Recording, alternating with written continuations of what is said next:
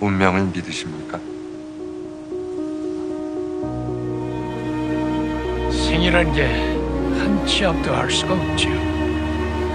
그렇게 한 치 앞도 모르면서 생을 다 걸고 도착하고 싶은 어딘가가 있다면 그게 바로 운명입니다. Thought I found a way.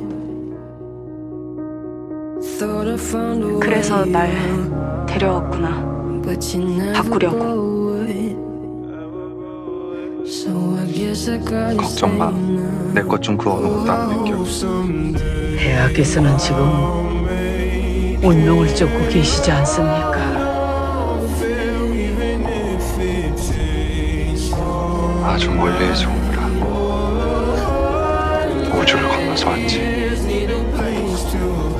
난 그냥 오늘만 살기로 했어. 오늘만 살자고 이렇게 더 아름다운 곳을 보는 내일은 없어. 이 말도 아직 안 했더라고. 사랑해. 자네. 아주 많이 사랑하고 있어. 오지 말란 말 하지 말아줘. 가지 말란 말 하지 말아줘. 난 자네랑 이렇게 있는 게 좋거든.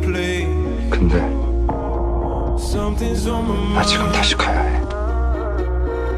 간다고? Always in my empty space, but I know 나 자네가 너무 보고 싶을 것 같은데. 괜찮은 척 했는데 괜찮지가 않다. 빨리 올 거지? 빨리 올게. 기다려줄 건가? 자네가 그 말을 하면 난 아무것도 못할 것 같아. 또 보자. 이걸. 부디 지치지 말아달라고 부탁하는 거야.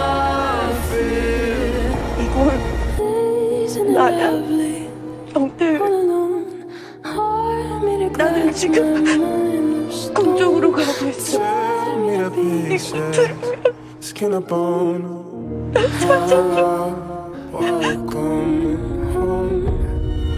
이제 온 거야. 지금 온 거야. 조금만 버텨줘, 들경이. 내가 갈게. 내가 반드시 찾아낼게. 보고 싶었어. 보고 싶었어. 난 그게 우리의 마지막인 줄 알았어. 난 그 문이 닫힌 줄 알고. 걱정하지 마. 만약 그 문이 닫히면 온 우주의 문을 열게. 그래서